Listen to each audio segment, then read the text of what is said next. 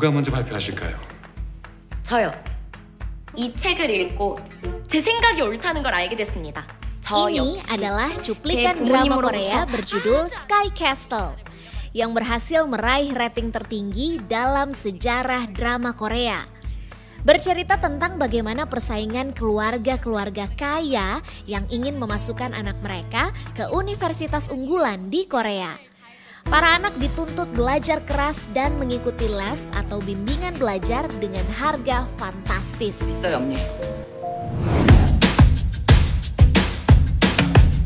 Sesungguhnya bukan hanya di Korea saja. Di Indonesia pun ada program bimbingan belajar alias bimbel yang harganya tidak murah.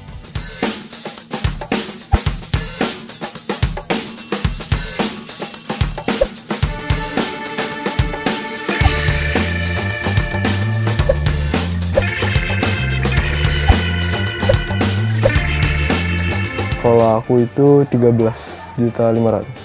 ikut program sprint biayanya 37 juta Em, sekitar 37 juta 500.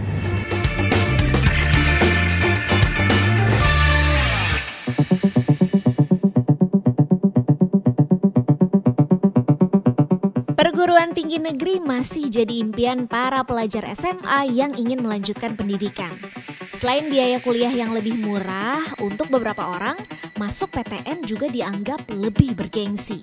Apalagi kalau lolos seleksi bersama masuk perguruan tinggi negeri alias SBMPTN.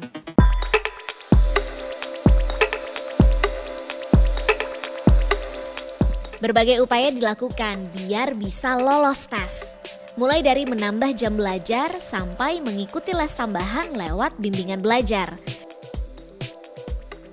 Mulai dari program reguler selama satu tahun sampai program bergaransi. Sebentar, bergaransi? Iya, jadi bagi siswa yang pada akhirnya tidak lulus ujian masuk PTN akan dikembalikan sejumlah biaya yang disepakati. Ada juga sistem karantina. Apalagi tuh? Pada sistem karantina, kegiatan pembelajaran dilakukan intensif setiap hari di hotel atau penginapan selama 4 sampai 5 pekan.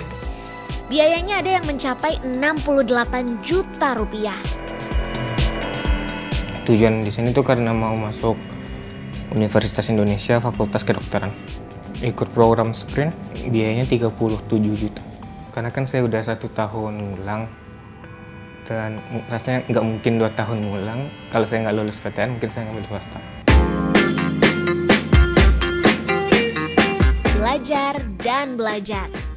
37 juta 500. Ya ada pembelajarannya, ada tambahannya habis pembelajaran eh, yang yang pastinya habis pelajaran pasti ada tambahan gitu. Terus eh, akhir-akhir bulan ada tryoutnya. Terus kadang habis tryout itu ada kayak eh, refreshing jalan-jalannya bareng. Aku sih pengennya masuk ke UI jurusan Fakultas Kedokterannya. Ya pertama gara-gara kenapa mau masuk ke UI Kedokteran pertama dari motivasi dari orang tua kebetulan orang tua aku juga dokter papa dokter spesia- spesialis mata ya beliau juga udah kayak nyemangatin lah dari kecil pokoknya kamu harus eh, kamu eh, jadi ay- kayak jadi ayah dong gitu ayah bisa masa kamu nggak bisa gitu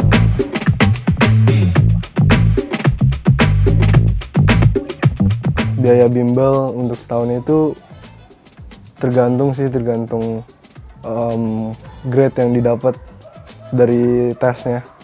Tapi kalau aku itu 13 juta 500.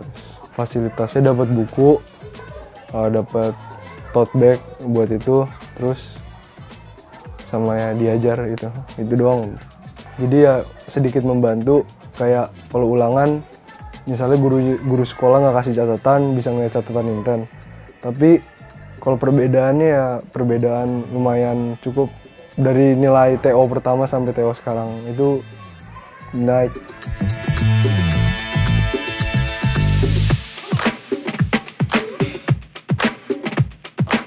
kalau udah sampai rumah tuh aku kadang-kadang inisiatif belajar sendiri tapi nggak selalu belajar terus kadang-kadang juga nggak belajar Membiayai bimbingan belajar dengan nominal yang tinggi diakui para orang tua sebagai bentuk support dan dukungan bagi sang anak. Nah karena si Krisnya mati-matian mau di UGM, ya tante sebagai orang tua ya maksudnya ya udah deh tante bantu deh mau masuk bimbel, oke masuk deh tante bantu gitu. Jalan itu tante bantu gitu, gitu aja. Nah, tan mami dia mau ini seperti teman-teman yang lain. Tadinya tante juga gak, tahu kalau dia nggak masuk di UGM, tante nggak tahu ada bimbel begitu mahal-mahal itu tante nggak tahu. Emang pengen masuk akuntansi UGM, nggak kepikiran gengsi-gengsi. Gengsinya kedua lah. Sebenarnya jadi masalah juga lah, mahal. 14 juta, eh 13 juta setengah. Mahal juga. Kan tante bayarnya nyicil. Semua sih sebenarnya nyicil ya, tiga kali pembayaran gitu loh ya tante pikir ya udahlah bela-belain aja lah buat cita-citanya dia. Lain lagi dengan Rania. Uh, setelah lulus SMA itu kebetulan ikut bimbel juga di Lavender gitu. Dua bulan kebetulan di sana bimbelnya asrama karena uh, saya kan orang daerah. Jadi di sini nggak ada keluarga yang memang uh, dekat dengan tempat bimbel dan lain sebagainya. Jadi saya memutuskan untuk yang asrama aja supaya bisa dijamin segalanya gitu. Sebenarnya kalau untuk biaya, kalau pas saya itu kalau nggak salah sih sekitar eh, uh, 35 juta gitu. Itu untuk dua bulan. Tapi memang tempat tinggalnya itu di sana uh, sekelas hotel. Makanya ya memang wajar sih untuk biaya segitu perjalanan untuk menjadi dokter. Memang aspek-aspek yang menunjang kita itu salah satunya dari diri kita sendiri. Menurut saya itu yang paling besar pengaruhnya. Bisa dibilang 50% dari keberhasilan kita jadi seorang dokter gitu yang berikutnya baru dari fasilitas dokter-dokter yang mengajar gitu Lalu kenapa harus ada bimbel dengan sistem karantina? tadi saya bilang saya bukan orang yang pertama menyelenggarakan itu hmm. tapi kita yang pertama kali serius hmm. karena kenapa dinepin tuh tujuannya meminimalisasi error bukan emang bimbingan belajar lain lebih bagus banyak yang bagus guru-guru saya waktu saya ini juga ada tempat-tempat lain dan very good hmm. tapi masalahnya bukan di bimbingan belajarnya. Ini di Jakarta traffic ke tempat les aja udah satu jam. Yeah. besoknya balik lagi satu jam. Sampai di rumah dia capek tidur gitu kan. Uh. bayangin kan itu waktu nggak nggak efisien kan? Kalau harus Bimbel dengan sistem karantina yang mencapai 68 juta rupiah sudah termasuk biaya penginapan di hotel bintang 3 selama lima pekan, makan tiga kali sehari dan coffee break, belajar intensif dengan kurikulum yang sudah teruji, diskusi malam, try out setiap pekan, modul pembelajaran dan buku latihan tambahan, serta sederet fasilitas lainnya.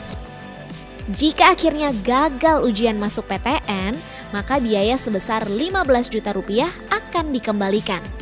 Sistem pendidikan di bimbel itu salah satu keunggulannya dibanding di sekolah itu biasanya rasio antara murid dengan gurunya itu lebih kecil. Nah, jadi mungkin ada satu uh, guru bimbel atau satu mentor itu dapatnya jumlah siswanya lebih sedikit dibanding uh, guru yang di uh, sekolah gitu ya. Sehingga sebetulnya bimbel itu bisa kasih feedback, bisa kasih umpan balik ke siswa yang jauh lebih spesifik. Yang yang dia udah bisa tuh yang mana sih? Yang dia belum bisa mana? Yang dia perlu latihan lagi seperti apa bimbel itu membantu persiapan tertentu untuk bisa diterima di kuliah tapi untuk bisa sukses di kuliah itu sebetulnya butuhnya lebih besar daripada sekedar bisa menyelesaikan tesnya dengan baik. Bimbel dengan tarif fantastis memang bukan jaminan. Semuanya kembali pada niat dan usaha keras.